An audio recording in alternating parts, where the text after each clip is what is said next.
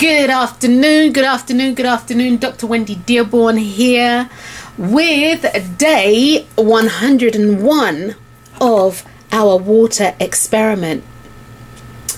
Well, guys, you've heard the saying, seeing is believing.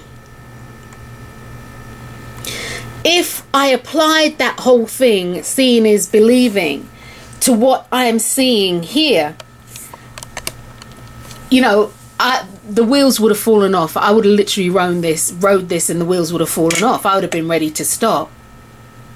But far too often in life, we definitely go through this thing. We have this thing seeing is believing.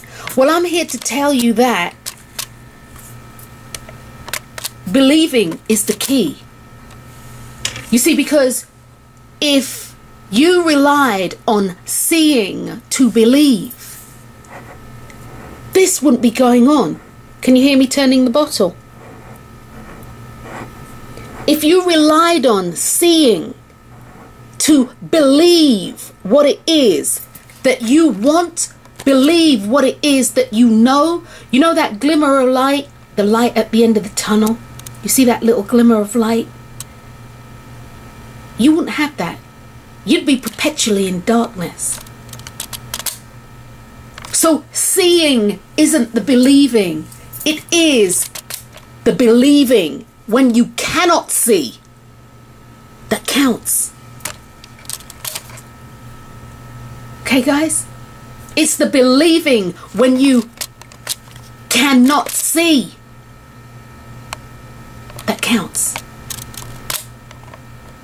And this truly should be applied to all areas of your life. All areas of your life.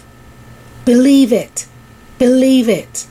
Then you'll be able to see it, not the other way round. Don't wait to see it to, to believe it. It will never happen for you. So anyway, guys, um, that's it for today, and it is this afternoon, and I am going to. You know, that was sort of like what my intu- where was my intuition going, and I am going here. I love you and following with my intuition thank you thank you. I am true i am in true gratitude for this. Thank you thank you thank you. I love you i love you i love you i love you.